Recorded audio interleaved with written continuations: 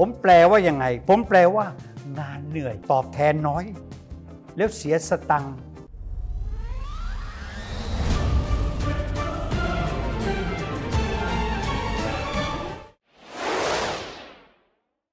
สำหรับแฟนๆ YouTube นะครับ อย่าลืมนะครับ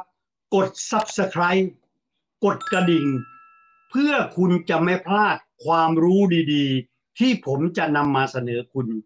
อย่าลืมนะครับ คนเกิดปีลิงเกียบใช้เจอเจียซิงเกียบใช้คือความกระตือรือร้น ไม่ใช่แย่งโชคลาภอย่างเดียว เจียซิงคือเป็นคนใจดี เป็นคนมงคล ดังนั้นคนเกิดปีลิง ค่อยๆคคิดวางแผนให้รอบคอบ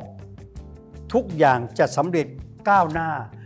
คุณกำลังเป็นคนที่มีเครดิตดี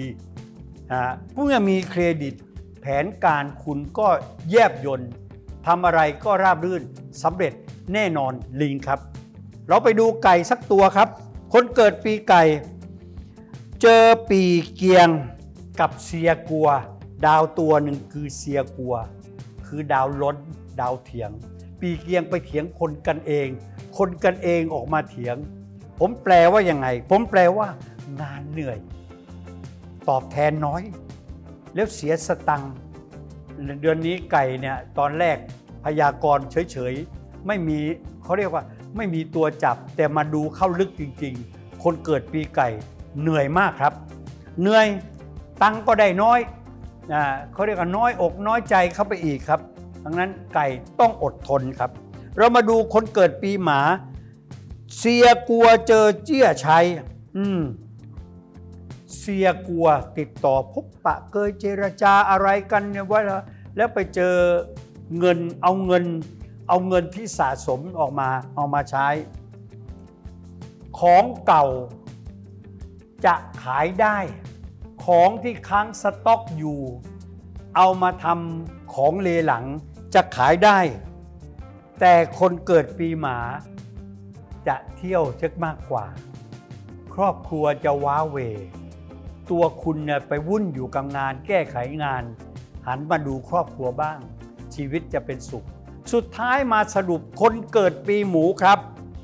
แหมเจอเจี้ยอิง ความคิดความอ่านคงเดิม คิดเหมือนเหมือนเดิม วางแผนเหมือนเหมือนเดิม มาเจอเกียบใช้ เพื่อนเขารู้ทันสองอย่างมาผนวกพยากรณ์ว่า การเงินหมุนไม่ทัน ติดขัดเรื่องของการเงิน ดังนั้นอย่าทำอะไรโดดเดี่ยวด้วยตัวคุณเอง หันมาปรึกษาเพื่อนฝูงทำอะไรอย่าตัดสินใจด้วยตัวเอง โดยที่ไม่ถามหุ้นส่วน คุณจะมีปัญหา และโดยเฉพาะหมูกับเดือนหมูสองตัวผิดพลาด หมูนั่นคือการเคลื่อนไหวคือตัวเอียแบ้ มีโอกาสถูกอับเปหิ จากงานหรือตกงานด้วยตัวคุณเองได้ เอาละครับ แล้วอย่าลืมพบกับผมได้ใหม่ในคลิปต่อไปนะครับ อย่าลืมกดติดตาม กด Subscribe